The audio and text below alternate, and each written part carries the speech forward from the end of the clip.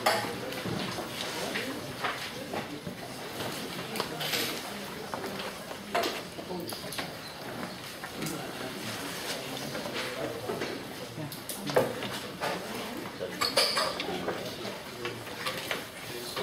everybody take a seat.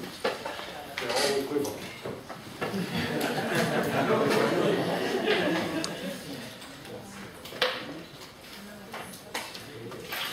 And this is also on the camera, okay. So let me, let me first start by uh, congratulating the organizers for putting together a wonderful program and for having it in such a wonderful place. And so we thank them for including me to, to come here. It's my first time here. Spectacularly beautiful place. Um, so hopefully I can be very, very short so that we all can go swimming as soon as possible. Uh, Anyway, so I've been asked to give a, a couple lectures connected to the, the, the theoretical perspective on, on the pnictides. And I just want to make a few disclaimers. Um, of course, with all reviews that we try to present, one should try to take your biases as much as possible out and try to reflect the state of the field and what are the relevant questions. That's, for me, a very hard thing to do. So I'm going to try to do that, but um, I encourage you, students, um, to seek out the people in the audience because many of them are experts in the field and there's lots of uh, expertise sitting right here. And you should get multiple different views from different people because as Lou Reed says, you should believe nothing of what you hear and half of what you see. So make sure that you uh, get different perspectives, that's also, that's very important.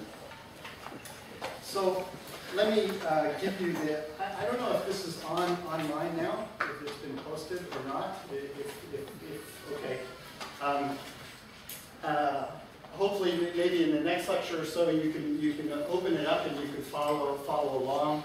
Um, I'm going to try to cover these three topics, uh, maybe, um, during the, during the lectures. I, I don't know how much I'll get to this particular area because I know a number of these, these issues will be covered by other people in connecting, connection to photon spectroscopies. So I'm going to really just try to focus uh, on understanding a bit of the quantum chemistry. So this is building upon the previous two talks. And we're really going to have way more information than you ever possibly could want about uh, quantum chemistry of iron. Um, but the, the, notes are in there, so you can read at it. You can read it over during uh, during your leisure. Um, and then the next lecture is connected to looking at ordered phases and how can we try to understand them in the next. So um, I just put a couple books here that I particularly like, uh, which cover the you know some big broad areas of transition metal oxides. Uh, multi-orbital systems and the type of competing phases that you get in multi-orbital systems. Um, and a really nice book about understanding everything you ever wanted to know about multiplets and so on and so forth. Um, this is a good book to put on your up on your shelf and impress people that you have it.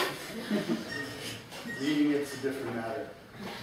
Uh, this is uh, I put, put this on the wiki so that these are, are uh, just again my biased selections of review articles uh, which are connected largely with theory. Um, I've left the experimental part alone for Jean-Pierre to, to pick up. Uh, I'm only going to show the experiments that support the points I want to make. So that's certainly something you uh, should keep in perspective. And then all of the references of the things that, I, that, I, that I'm going to put on are, are, listed here so you can at least find out if I'm being sloppy where, where all of these things came from. So one of the things about the iron superconductors that I think is good to keep in, keep in mind or keep in perspective is that many times throughout the course of the last hundred years or so, superconductivity has been declared to be not dead, but near dead. Meaning that there's pretty much everything that we needed to understand, and then every time that happens, another new material or a new class of materials come around. So the iron pnictides, their discovery a couple years ago, of course, added another data point on the TC versus year, which seemed to go along a particular trend when everyone many years ago said, no way, nothing's going to happen above 25 degrees Kelvin. So, but the pnictides are just more in the context of the overall story of the surprises that lie in the field of superconductivity. And because of the relationship that which now seems to, to show up as a common theme or paradigm in condensed matter physics, that superconductivity and high temperature superconductivity is lying near or in proximity to a phase which has some other type of order. Uh, in, in these two cases, antiferromagnetic order in the uh, cuprates uh, and in the iron-based uh, uh, superconductors. And so, of course, what we really like to be able to do is what everyone wants us to do is to train a generation of theorists who can calculate TC and have it be actually meaningful. Um, and so to be able to do that, we need to understand what are the recipes that, that go into it, what are the essential points, is there a common theme, meaning proximity to another phase, or do the details really matter? And we're going to have to do a new theory for every single compound that comes, comes around. So in looking at, uh, this is a, just a, a, comparison that Igor put together, Igor Mazin, um, uh, which is looking at uh, certain types of properties, comparing the conventional superconductors, copper oxide, MgB2, and iron-based superconductors. And of course, they have more in common than just the high transition temperatures themselves. Um, there are aspects connected with, with structure, of two-dimensionality, three-dimensionality, whether it's the uh, lattice that's driving things or magnetic. Of course, nothing is uh, uh, written in stone yet, but there certainly is a direction people are leaning. And the way of looking at an order parameter is, is different in, say, single band materials as it could be in, uh, uh, within single band materials or within multi-band materials. So this is the kind of stuff that I want to try to uh, try to elucidate during the lectures of what's interesting and, and how can we really focus on what the details.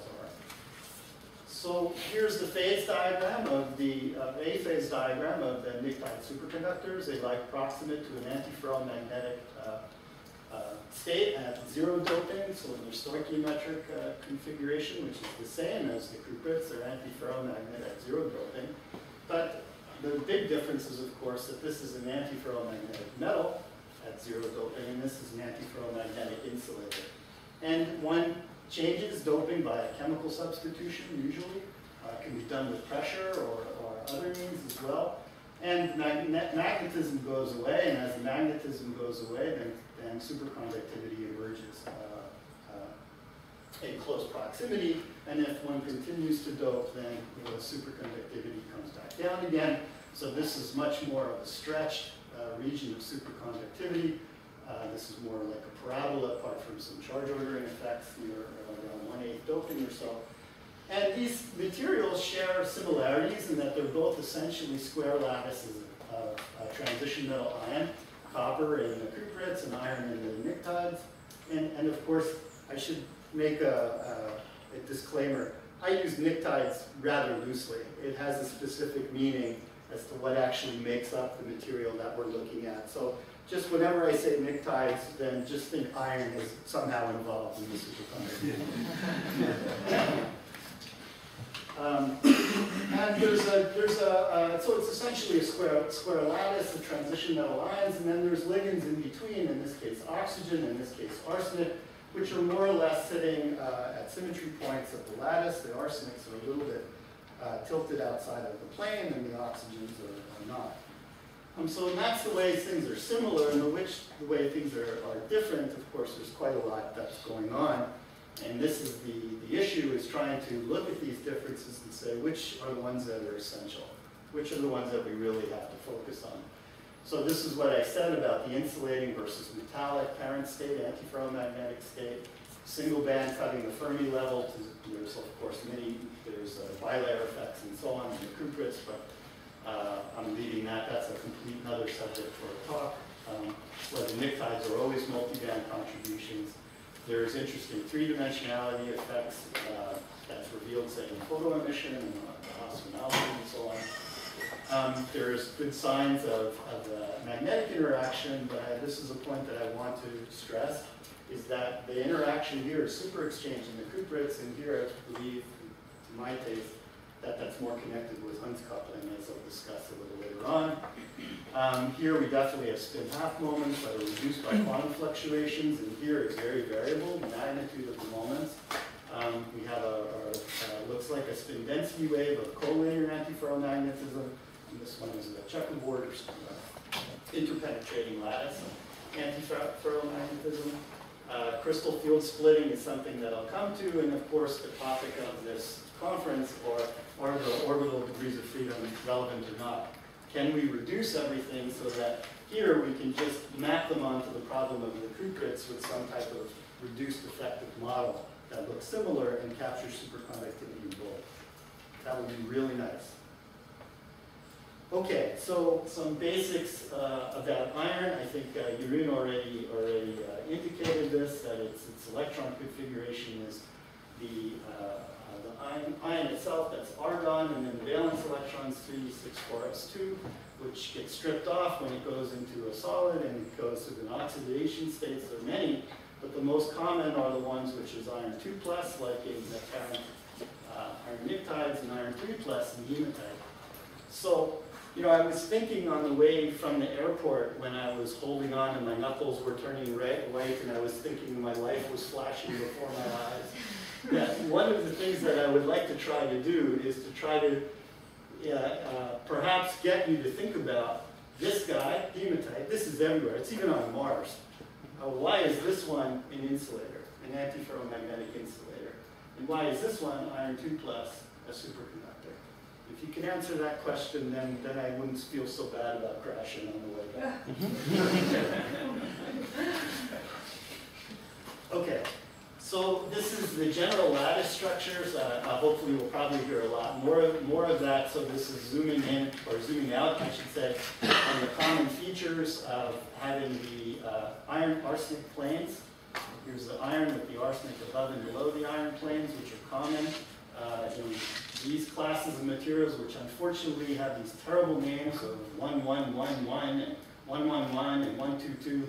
This is a tongue twister. I, someone was, was using 1111. I think that's much better. and, uh, and the uh, uh, uh, just replaced this just further down on the periodic table, taking selenium and putting it in for arsenic, again, they share a common structure. And then there's some spacer ions which are lying in between. So here, just to show you that I know what a pnictogen and a chalcogen is, here it is. So I can uh, now be loose and sloppy. Okay, and if we again look at the structural comparison of the uh, of the cuprates, it looks similar in the, in the sense that there's a copper oxygen planes separated by some spacer ions, but there's not a large degree of buckling as there is in the in the uh, in, in our. So the pnictogens form these uh, converted uh, octahedra, uh, tetragonal structure, um, where it, there is some degree of buckling here, but it's usually very very small. So dimensionally, they look similar. Um, now, if we consider valence considerations, now we have now we start to see where the orbital degrees of freedom really manifest.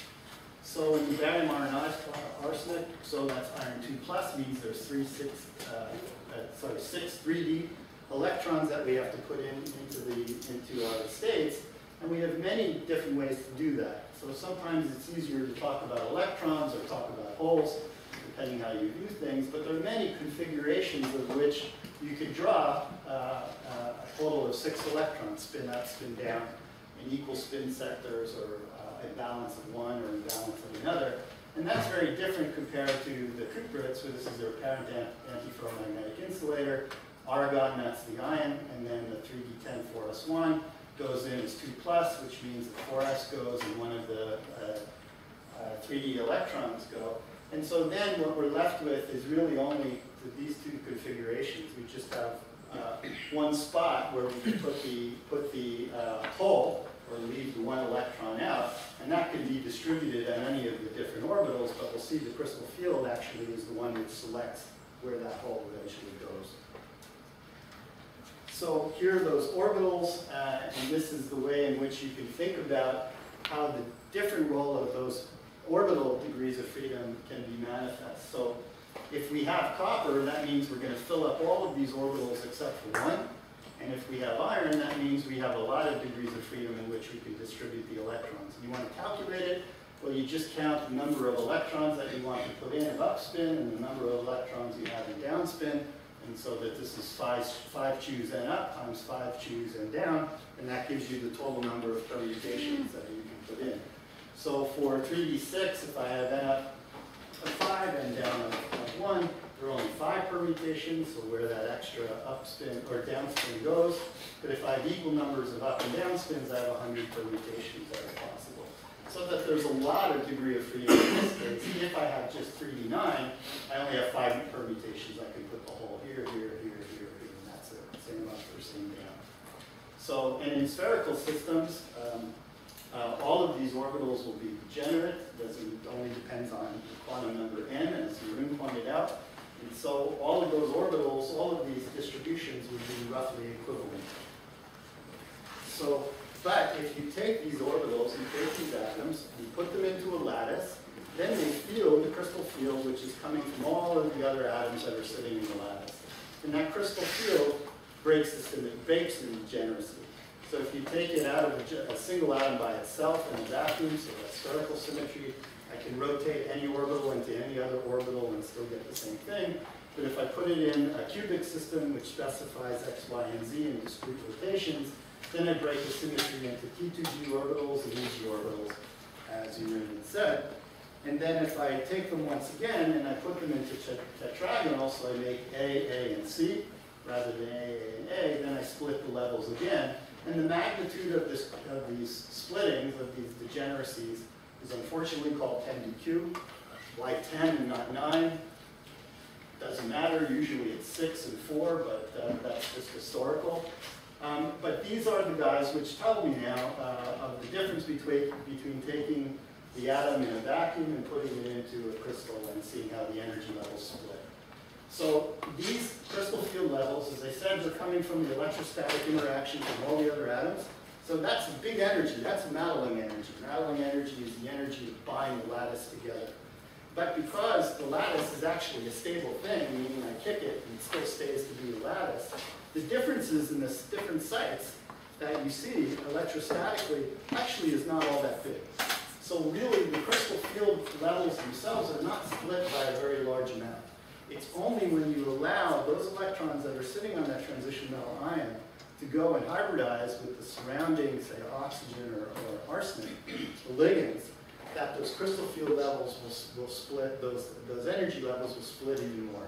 That's called ligand field splitting. And so typically then this 10 dq depend, depends very much on the lattice, depends very much on the distance between uh, the atoms that are sitting in there, and also depends upon what atom type of atoms you're looking at.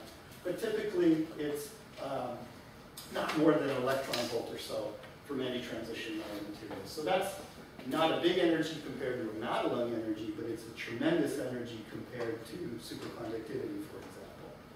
So that this becomes the way in which then we start filling the electrons, uh, electrons up, which is just given by the overall environment that, uh, that the atom sits. So if you look at, uh, just take iron 2 plus, and look at the difference in energy of making high spin, which means I go uh, up, up, put all the up electrons here, and one down electron up there, and I compare them with low spin, which is all the up and down electrons together, that energy is given, of course, that, that crystal field energy, and so that is the, the uh, energy which stabilizes the low spin state. But of course, we have to worry about all the intraatomic Coulomb interactions, not with the core. This was a question that came up earlier in the morning. The core gave all the atomic levels. That's now gone. Now I want to ask about the remaining valence electrons and how do they interact, the Coulomb interaction among the same electrons coming from the same orbitals. And that gives us all the wonderful Hubbard and Hund's physics. So before I get to that, let me just uh, uh, point out that there is a difference that in many transition metal uh, oxides, such as the copper, oxygen, uh, copper oxide system, we have an octahedral coordination, which is the transition metal uh, cation is sitting at the middle and it's surrounded in um, this octahedral coordination by the ligands, the oxygens. So that's different in iron and iron arsenic, so that the iron sits at the center and then the arsenics are sitting tetrahedrally coordinated. And so that means that these orbitals now, instead of pointing, say, along the principal crystal axes, they're rotated. and that, ro- that rotation of tetrahedral coordination rather than octahedral inverts these levels. So in the cuprates, T2Gs are down here, EGs are up here, but in the Pnictides, it's flipped. So you first fill up the EG levels and then fill up the T2G levels. Okay? Okay. Are there any questions at this, at this point? Oh, okay, good.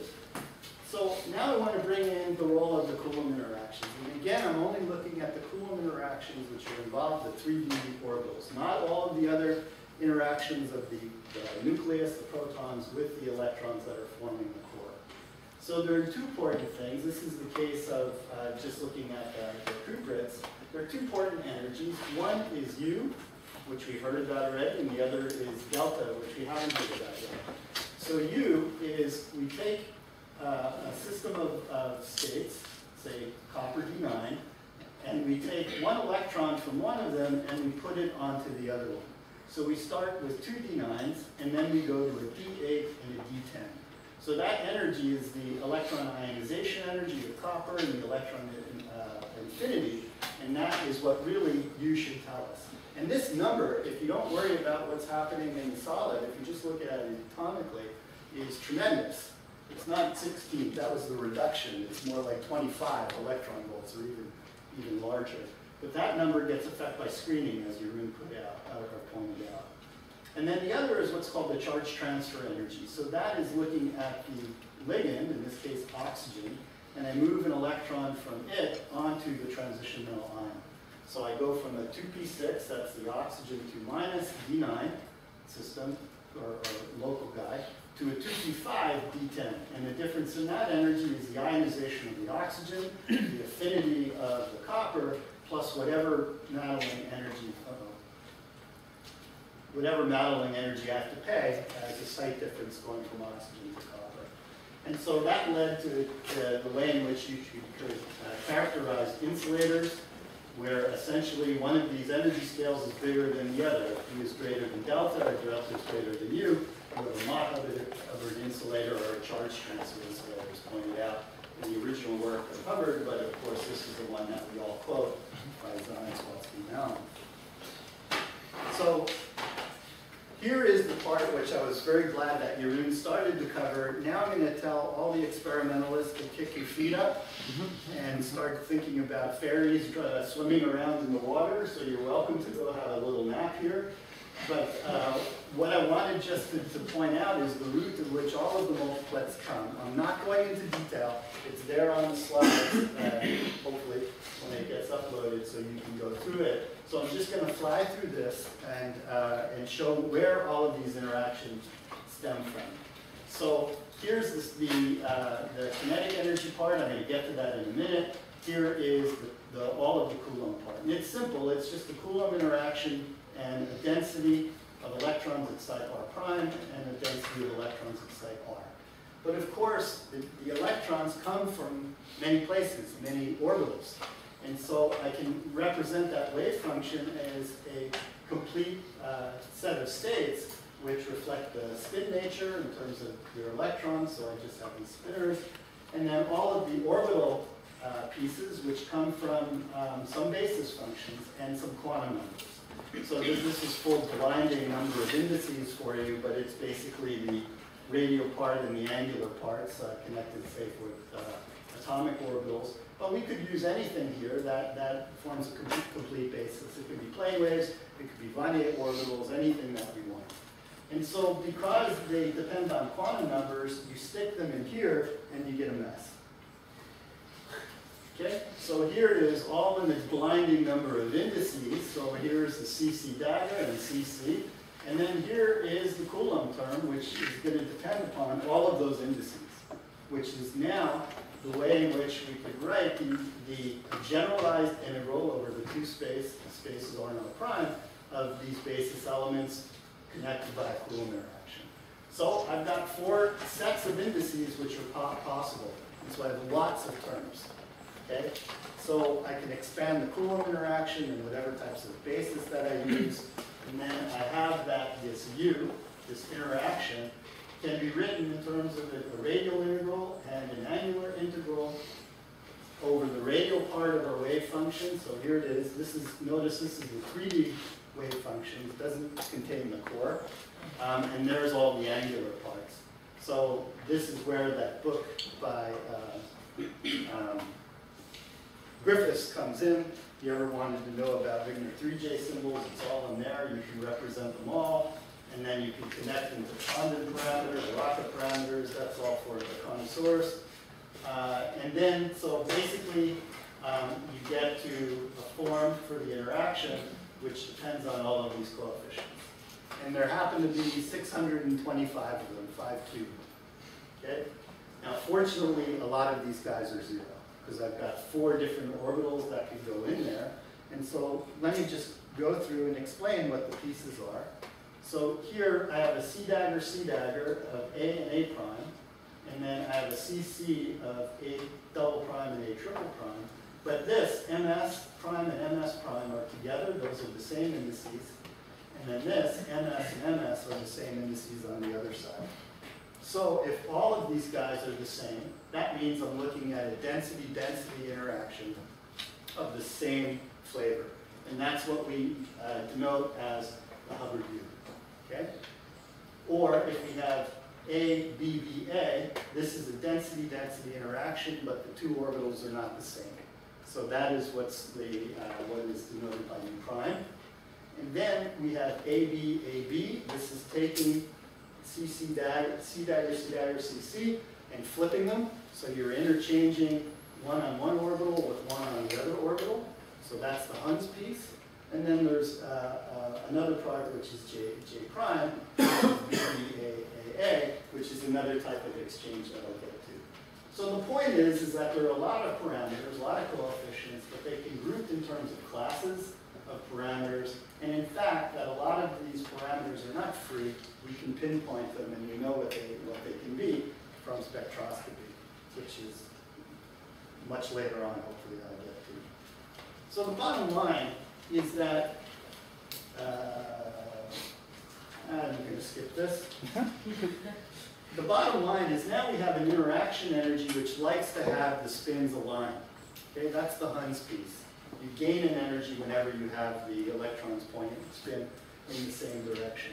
And if you look at, for example, iron 2 plus and look at just ignoring all of the other u prime and just look at the Hund's pieces, then you see that the energy difference between the uh, high spin state and low spin state is 4J. So here's the competition. If J is big, then you'll like to have a high spin state. If 10 dq, or the crystal field energy is big, then you'd like to have a low spin state. And so this is uh, specified in these wonderful Tanabe-Sugano diagrams. So these are all the energy levels for D6, single atom of D6, plotted as a function of 10 dq. So as you go out, as 10 dq comes out, you have first at zero, you'll have a high spin state the ground state, and then eventually there's lots of crossings that occur at the energy levels, and at some point, this is when 10 dq wins, and the low spin becomes the ground state. And then all of the uh, energy levels, they just kind of go with 10 dq. They don't, there's no more interactions among all of the different uh, permutations that you can get. So all of these type of excitations uh, are characterizable atomically, so you can see them by different types of transitions. And the big difference is for D6, there's a ton. And for D9, this is really trivial. All I can do is start from this being the ground state and just pop one of these spins up into the other one, and that's it.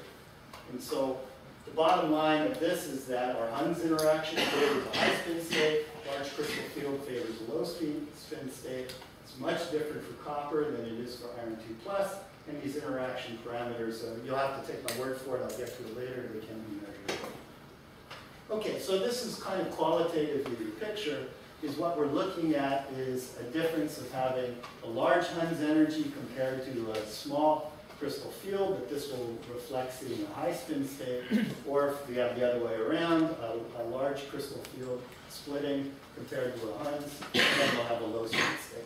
So band theory would tell us, like I said, that the changes in the Madelung energy, the crystal field, the ligand splitting, not very large. And it's not probably less important than the 3D band structure, the kinetic energy that the electrons have. Um, and this is a very different view from the cuprates, where really strong electron-electron interactions are very, very important. Okay, so, five minutes, okay.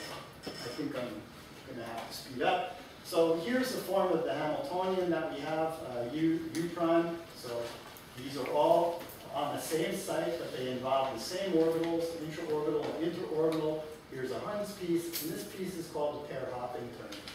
So in what uh, ways can we neglect the next nearest neighbor interactions? Well, that's what Raymond already mentioned, that if we try to look at interactions where we're moving electrons from many sites away, the lattice says, no way, I'm going to polarize uh, in order to, to screen away that, that D8 or the D10 that I created, for example. And this could be a huge effect at reducing the, the value of the Hubbard U. And in fact, because, again, as Jeroen pointed out, the arsenic and the phosphorus are so big that this gives a pretty whopping uh, reduction in the Hubbard U on the order of about 17 electron volts or so as calculated by those guys uh, a couple, a couple years ago.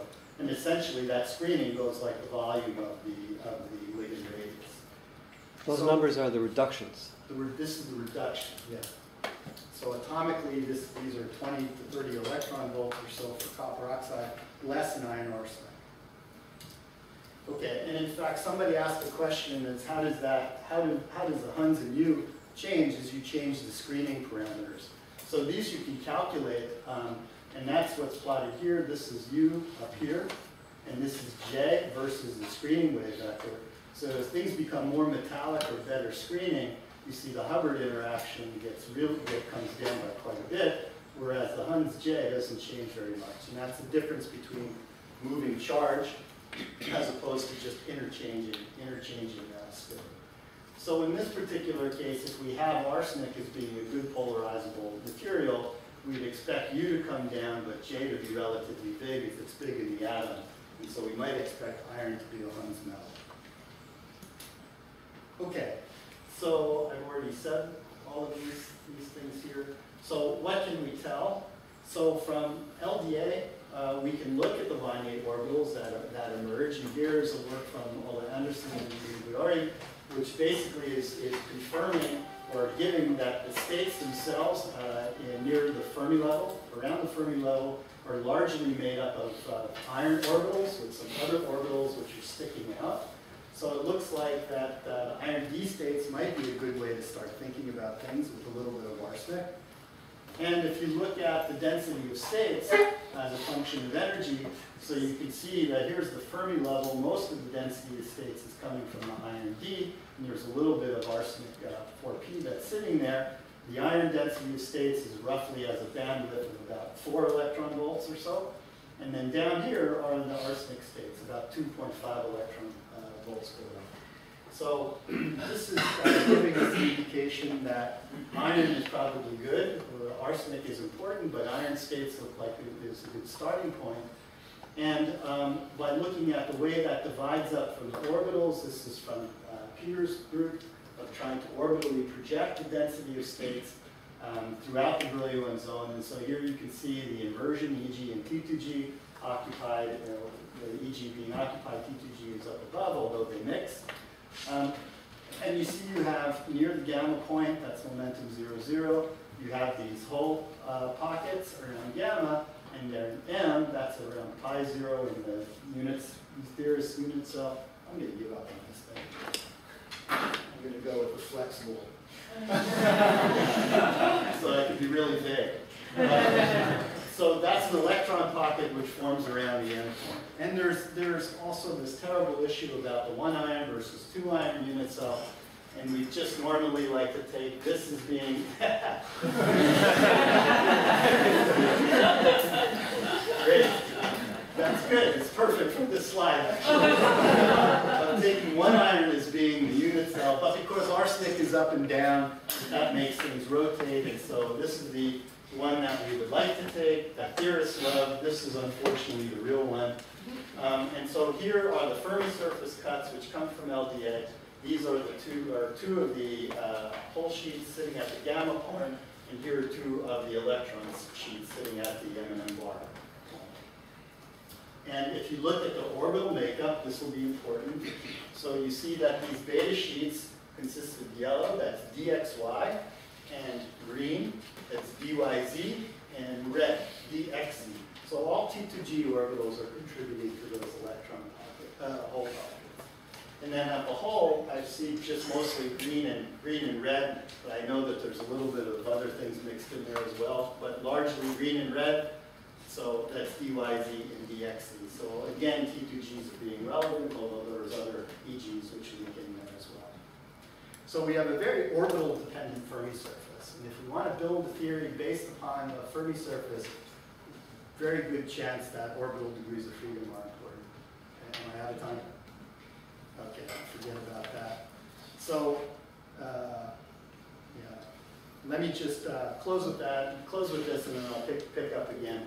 So there are many different, the idea is that we can reduce something to an effective iron model. Now, there are many different ways in which that can be included, with just sitting in two bands, say electron and hole pockets, or three orbitals, which gets the T2G character in, or four if we want to see more orbital content, or work with the full five orbital model.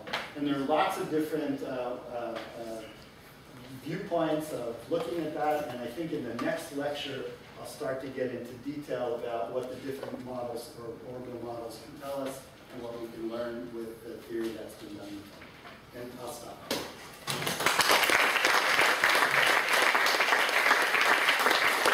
I have a question on the fifth equation of Bernoulli. I was wondering about that. I think it's a square root of three.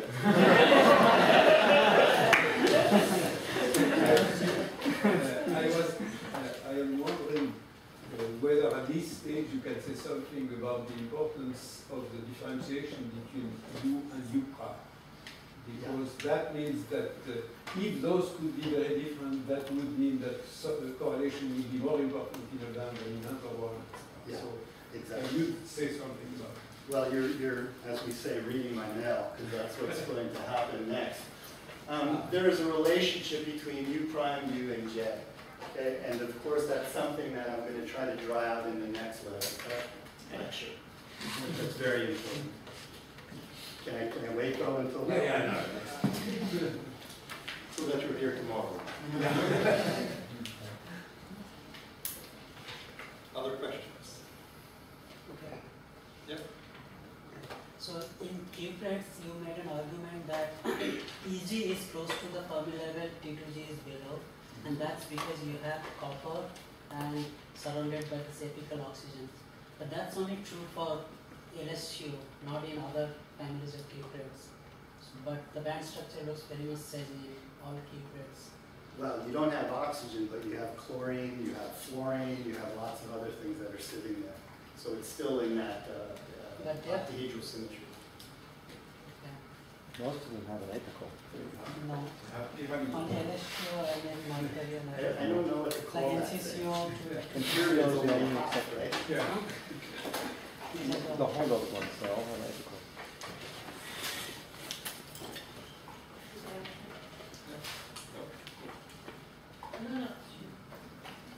So, okay, so if you go to this, uh, this Takano diagram, so this different lines, right, is, is a function of, you know, U, DQ, right? So this different lines correspond to the orbitals, right? Or, or the, Uh, yeah, no, they don't they don't correspond to different orbitals. They- Can you repeat this? Oh. So in the Tanabe-Sugano diagram, let's go back. Wrong way. Did I go the wrong way? Oh, yeah, I did, I'm sorry. Thank you. There you go. What a mess. I didn't read this. Yeah, so these are just the energy levels plotted versus 10 dq. 10 dq, okay? So the, the J and so on, that's, that's fixed. Okay, that's not changing. So that these are, these correspond to all of the different uh, permutations that I can, that I can do with all of those different electrons. And some of them have higher energy, some are at lower energy, and all of those permutations are there. So the 10 dq is dominant when you get out here, right? They all just go by 10 dq. But down here, you're fighting the, the U and the U prime, and J prime.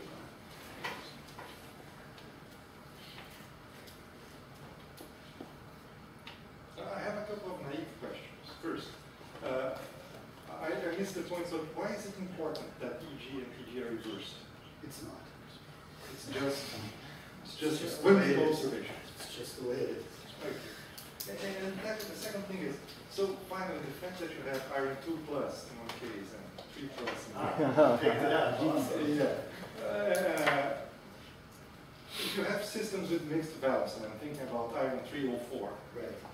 would you expect something strange happening in this system? Yeah, tons of stuff happening in that Yeah. Verwey transition happens in that thing, right? And mixed valence systems, uh, of course, uh, uh, you know, iron, iron silicon is a nice good example of, you know, a Kondo insulator. So there's a ton of physics buried in mixed valence, and the connection though of that to superconductivity is of course another one of the bullet points that you could put in terms of common themes, which are, is that important for superconductivity or is it not? And I have a very big proponent who's just five doors down from me, Ed Dubois, who makes very important that, that it is very important that that mixed, that that mixed valency is there. So, Is, so is that a real mixed valence or a, a difference of valence on different sides? It's not exactly the same. Oh, I don't, I don't make the distinction there. But there should. There is, of course, there is, of course. So, you know, just go down into the lanthanides and it happens in spades. Peter? If this is the same question as Henri's and you want to postpone it, feel free. But I'm curious about the screening of U prime relative to U. Is that the same question? This, uh, How is U prime screened relative to how U is screened? You showed us U and, and J once, but Oh, you didn't show us U prime. Yeah, that's, um, how I do it. So, U prime is this one minus twice this one. In a spin rotational invariant system, but Yes? in general, can one say anything more general than that? Um, In general, well, it all, then you, Any- any if you break that. Hand waving, any hand waving When about if I just interactions and so on that breaks, that's breaking that, that's, that rotation symmetry and that relation. Gee, I don't know how that, how, if screening, I guess screening would, would be very might be very different, but I, I honestly don't know the answer to that. It will be connected to D, to the, to, to something, no? Because the way you will screen might depend also on the dimensionality. Absolutely, yeah, and the charge transfer energy, of course. But this, these, those are connoisseur questions. I have another question after I woke up from the. Yeah, uh, Did I get it right that you said you can ignore the second neighbor interaction in this system? The, well, Because the the main often difference do. of this and the cuprates is that the second neighbor is very different, right? Right, we, we, I think that this is a, something which I think is actually a very important question, and I've just shot over it. Um, we focus on the local interaction. Why? Well, it's a big energy scale in the problem. But certainly, you know, when you're talking about electron volts or so, that next nearest neighbor interaction is not micro electron volts. It's certainly something that's substantial and it's there. Um, and in the, you know, theory does, uh, uh, uh, there are different ways that incorporate the non-local interactions and the, the ones which are extending over many sites. And we know, we know that's important. I mean, we wouldn't get a bigger crystal without it. So, I mean, we know that there's a lot of pieces that are there that are important. And all like, uh, that's a, that's a whole nother, a whole nother talk. No, yeah, since this is a super exchange, and unlike in cuprates where it goes copper, oxygen, copper, this goes in the middle, right? So it goes to arsenide and back. Right. So the next neighbor has the same path, except the angle. So your next neighbor technically is stronger than nearest neighbor. Right, I'm gonna, I'm gonna get to that in the next lecture. Yeah, okay, I- J and I- J pro- yeah. uh, Expected. Exchange. So the answer is definitely the next neighbor is important. Maybe I was uh, thinking a little bit about the question about how U prime use screen differently, but I'm not sure, but let's say the, uh, the monopole screening is the same for both, right? The, the, the charge susceptibility uh, is the same, screens in the same way. What they differ, the way they differ is in the quadrupole. So if there is a quadrupole susceptibility, charge susceptibility different for one and for the other, then that screening will be different. But that's, that's uh, putting the problem towards susceptibility. But, yeah. It's a way of thinking about it. The, and the screening will be doping dependent as well, right? Pardon? The screening is doping dependent as well because that's a susceptibility. Oh, well, Doping dependent. Yeah, but what I'm talking about is not about doping. Yeah, that I understand. It can be. Just to be sure, so there's different, you know, there's the usual Migdal type or, or uh, Debye type of screening, and that's different than what I'm talking about. This is kind of Kanamori kind of screening, right? Yes, exactly. It will be- Did you say of Yeah, Kanamori. Okay, so well, let's thank Tom again.